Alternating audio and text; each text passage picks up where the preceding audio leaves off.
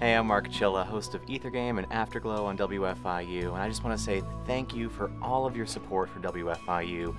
You truly are the heart of this station. And happy Valentine's Day.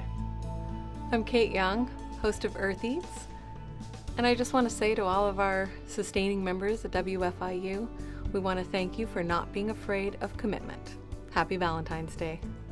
Hi, I'm Shane Lauder. I'm arts and podcast producer for WFIU, and I want to say a happy Valentine's Day to all of our sustaining members, and I want to give you a lot of appreciation for all the support you give us throughout the year.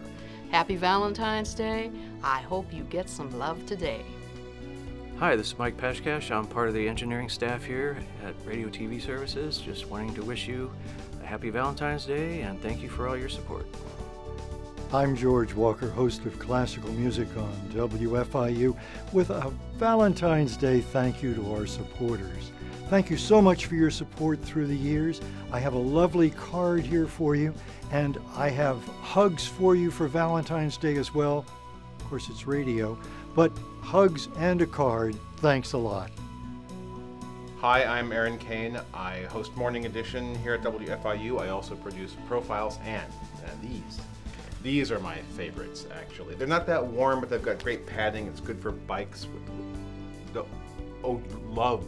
Share the love. I thought it was share the, the glove. Anyway, um, happy Valentine's Day, and thank you so much for your support.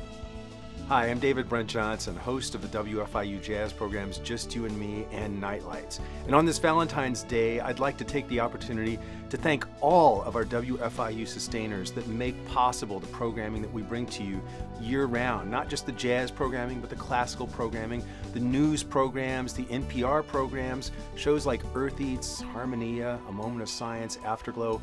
All of those are made possible because of the stability that your sustaining support gives us. Thank you so much, truly from the heart, on this Valentine's Day.